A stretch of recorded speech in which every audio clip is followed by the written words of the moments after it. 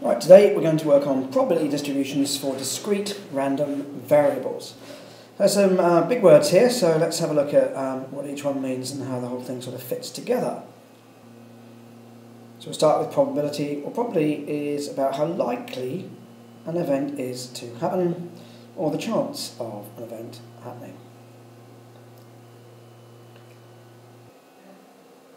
Distribution is how um, some sort of things, if you like, um, elements or, or, things that might happen, how they can be spread. Okay, so how um, things are spread across uh, a, a range of possibilities.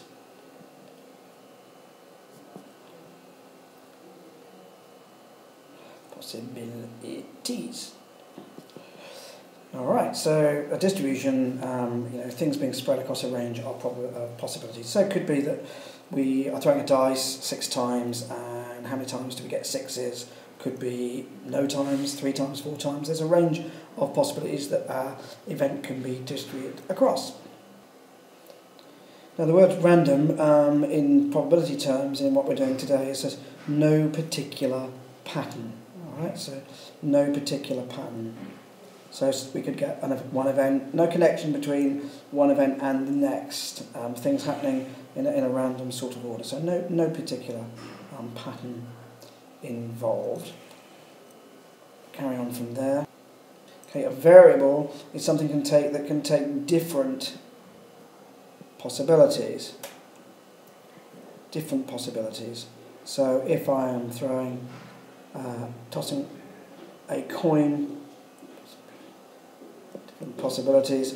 Um, let's say, for example, I am throwing six coins. How many uh, sixes do I get? Well, there's different possibilities. I could get no sixes. One six, two six, three six, all the way up to six. So a variable is something that can take different possibilities. Okay, so let's have a look at um, a particular problem then. You toss two coins. What are the possibilities for the number of heads that you will obtain? Alright, so I want you to think about that and write down um, the range of possibilities for the heads. Okay, so um, we can put the um, order, we can say that the variable x is the number of heads we get. Well, there's no guarantee we'll get heads, we might get two tails, so that would be no heads. We might get a tail and a head, which is one head. We might get two heads. So now we've put down the range of possibilities, um, but we've not got a probability distribution yet because um, there are no probabilities at, the moment attached to those variables. So what I would like you to do now is to write down the probabilities of getting uh, no heads, two heads, and one head. I'll give you a few moments to do that. Okay, so what we should have come up there, no heads um, should be a quarter. Now there's two ways you can get um, ahead. It could be on the first uh, coin that's thrown, or it could be on the second. So the two possibilities will come to a half. And getting two heads is a quarter.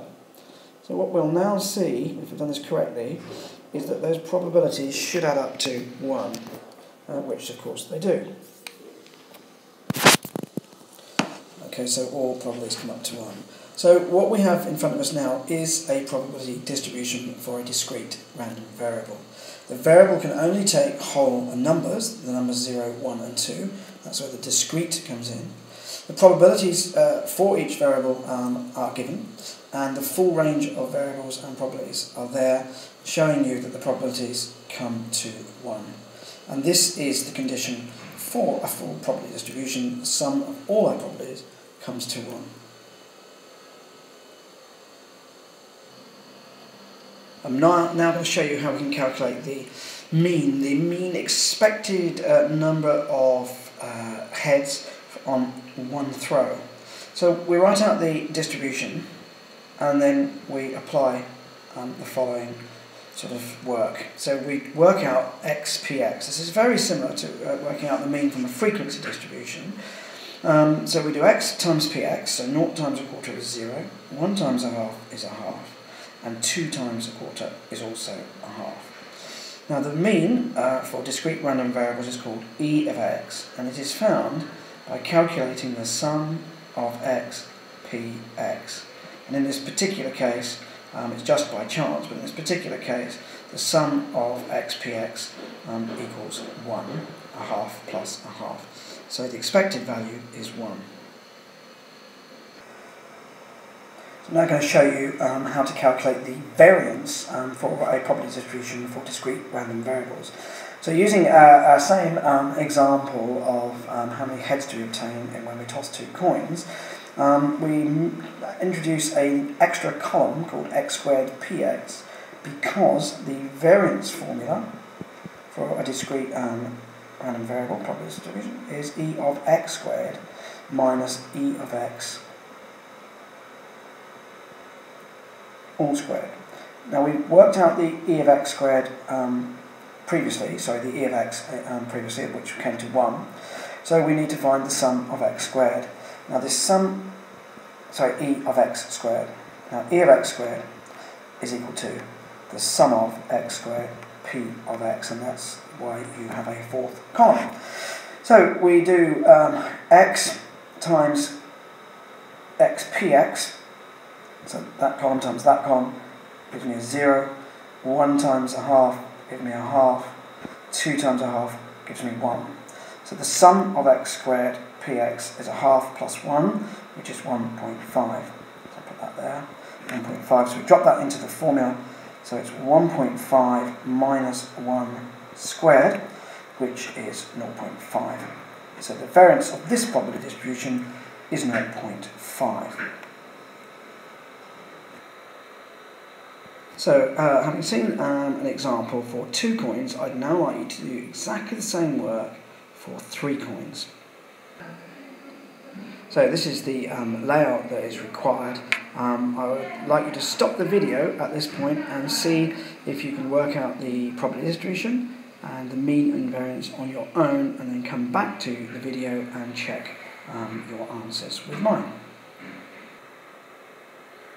So here's the full solution and um, you'll see it's pretty much identical to the previous question just with um, an extra possibility of up to three coins, so different probabilities. Um, we'll go into that later if you had any difficulty uh, on how to do that, I'll show you on the next slide. Um, and then it's a straightforward um, procedure of working out xpx, x squared px, getting your totals and dropping them into the formula in precisely the same way you did before. Just in case you had some difficulties with getting the properties, I'll show you how they were obtained. Probably the best way of doing this is to write out all the possibilities. So we could have three heads. Equally, we could have three tails.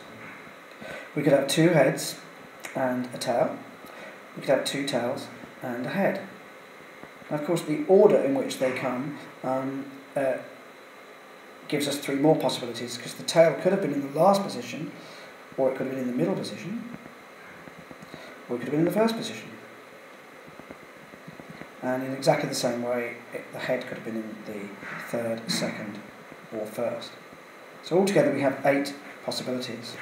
Now, in terms of no heads, there's a 1 out of 8 chance. In terms of one head only, well, we can see that there were three possibilities where we had one head out of the eight altogether.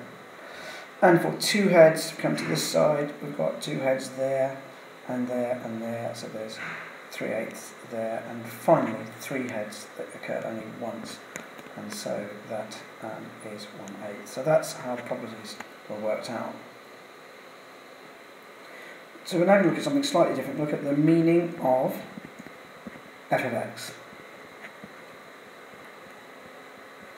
So, so far, we know that the probability that x equals little x means that x takes a particular value. So we've looked at, for example, probably that x equals 2 when we throw three coins.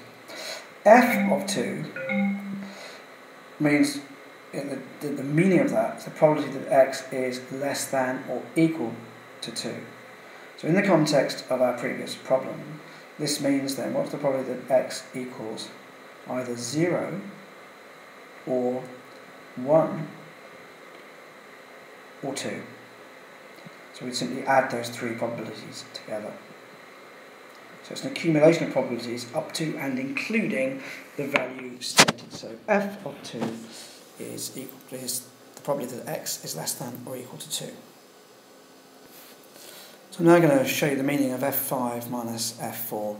Let's suppose we have a discrete random variable that can take values from 0 to 5. It doesn't matter what the particular probabilities are, but let's say the probability of x being equal to 0 is p 0 probability that x is equal to 1 is p1. So these are just symbols standing for probabilities that haven't been um, worked out yet. So the meaning of f5, f5, uh, sh you should know this from the previous uh, bit of this video, it's probably that x is less than or equal to 5.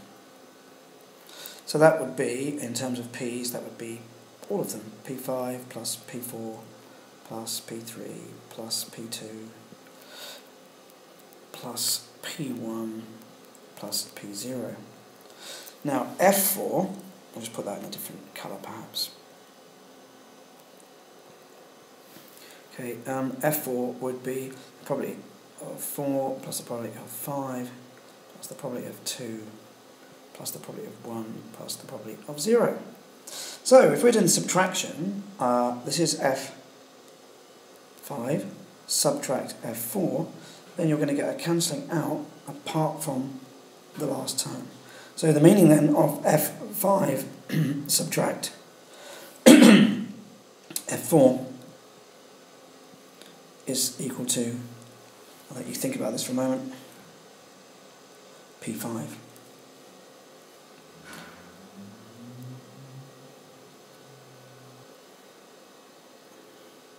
So if we look at um, the probability distribution we were working with earlier, um, let's have a look at how we would interpret f of 2, f of 0 and f of 3.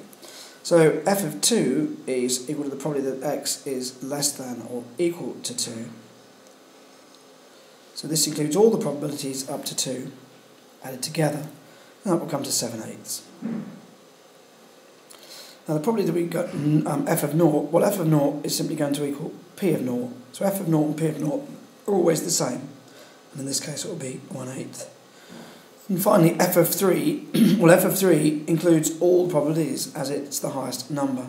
So f of the highest number will always be 1. So those are important things to remember. So I'm now going to show you um, how um, what's called expectation algebra.